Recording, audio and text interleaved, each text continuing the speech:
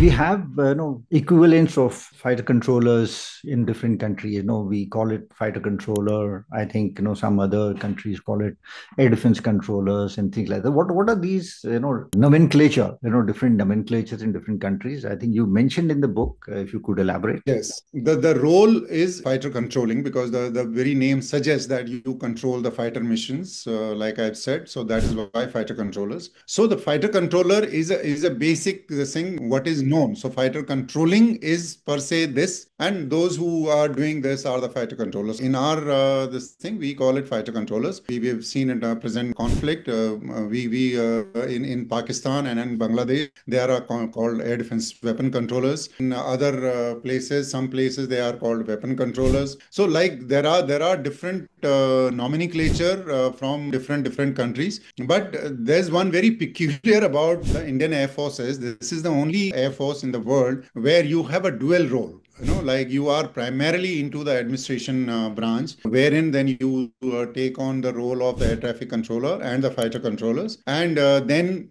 you know in your prime uh, for good about 20 odd years you remain in the operational stream. And then thereafter you take on the administrative uh, role. This does not happen in any other air force. Everywhere else this is primarily they they are stuck to only this role then they move out Okay.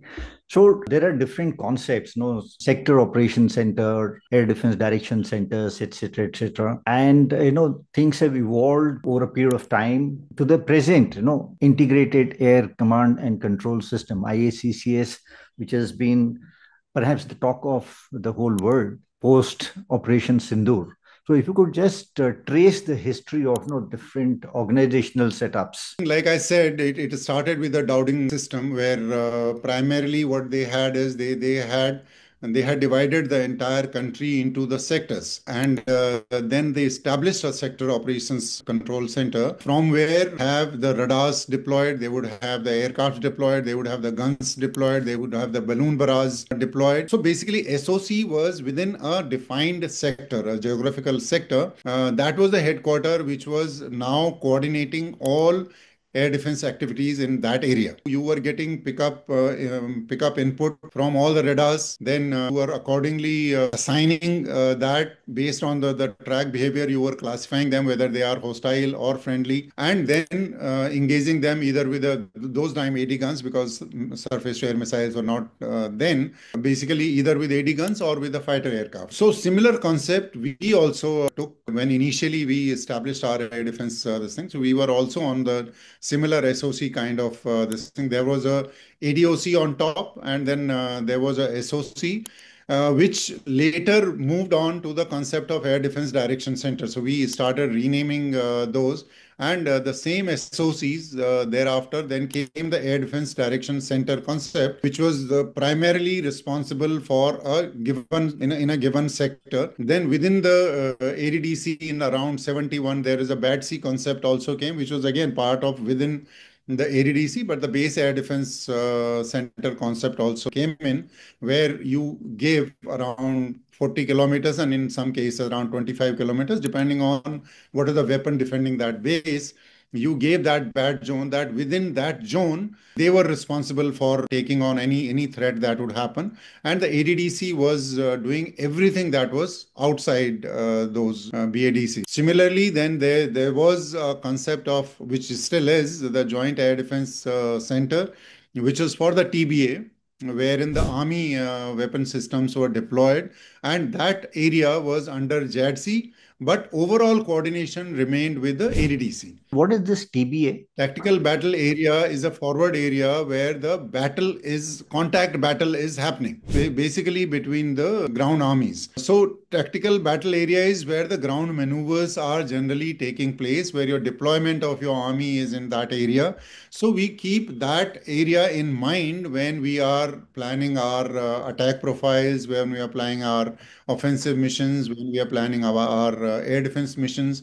So idea is that that and in that TBA, then the joint air defense centers are established for the air defense of that area.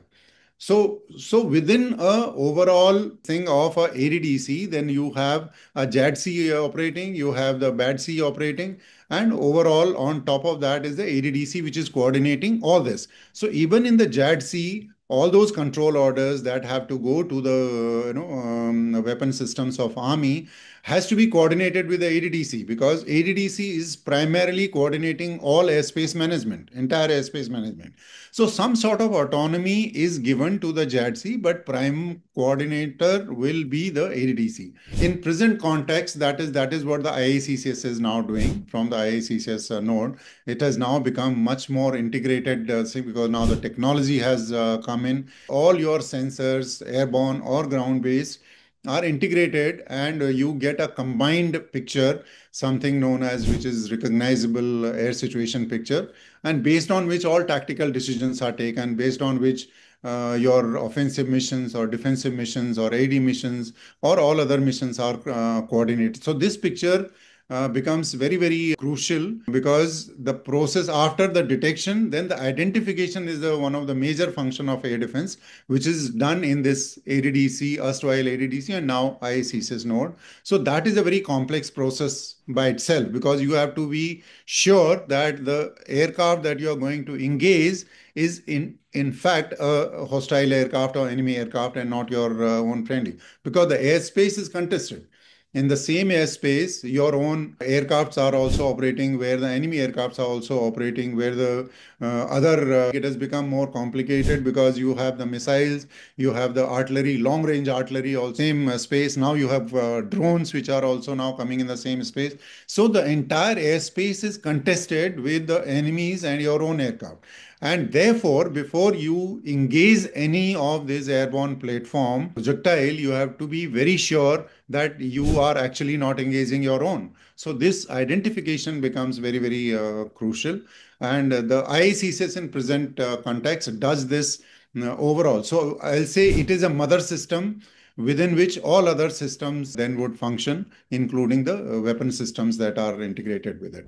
Shared your experience of, you know, you were also instrumental in developing and operationalizing besides agencies or many other. Could you just elaborate on the kind of you know how this development has taken place very briefly? This is again uh, detail in my book how uh, challenge of IACCS development was how our uh, very very uh, senior people uh, from late 90s uh, onwards that we had started talking about the development of IACCS and then whole lot of technical officers and uh, fighter controllers who were uh, part of it over the period of time. It started late 90s until about, uh, so we, while I was there between 2008 and 10, uh, that was the time when the, system was finally went into the development phase with the BEL and many other agencies than we did. So we we had uh, this is something a very very successful model uh, that has happened in the development. There was an entire uh, team of technical officers and fighter controllers who were working alongside uh, the BEL scientists. That means everything that was required to be made uh, so we were part of it. Our our engineering officers were also part of the finding solution of whatever we were trying to uh, you know develop, and it was a it was a humongous software development program. So we as a fighter controllers, while our primary role was uh, that we have to make sure that every line of software that is written is really well understood by the engineers. So at the at the end of the day, I think we learned a whole lot of software development and the BEL engineers and other engineers learned a lot of fighter controlling. So I, I, jokingly used to say that you know we have this categorization amongst the fighter controllers. So I would always uh, tell that the BEL controllers at the BEL engineers, by the time we finished IACCS, were almost like a Cat B fighter controllers in, in in terms of their understanding.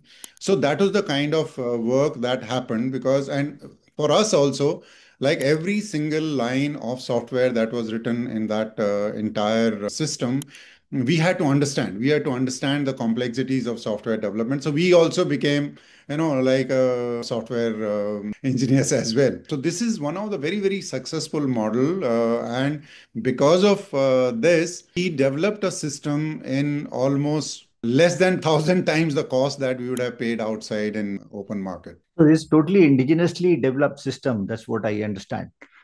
Absolutely. Absolutely.